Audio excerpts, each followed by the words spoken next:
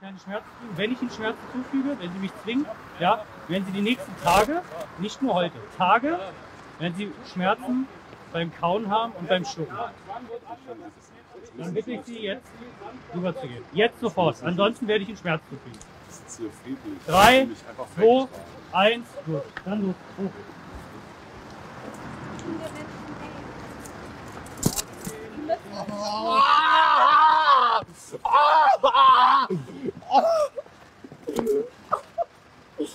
Lassen Sie mich einsetzen.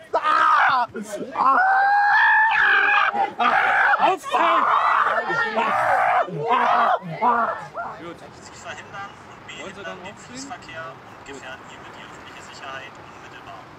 Kommen Sie dieser Aufforderung nicht nach, werden Sie mittels unmittelbarem Zwang von der Fahrbahn entfernt. Die Polizei muss ja ähm, immer prüfen, was ist eigentlich das mildeste Mittel, um ihr Ziel zu erreichen. Und gerade ähm, bei, bei solchen friedlichen Sitzblockaden äh, wird das Wegtragen in aller Regel äh, das mildere Mittel sein und ähm, sind Schmerzgriffe daher aus rechtlicher Sicht kein probates Mittel. Partner ist, Einsatzleiter irgendwie. Wir tut dann natürlich nicht.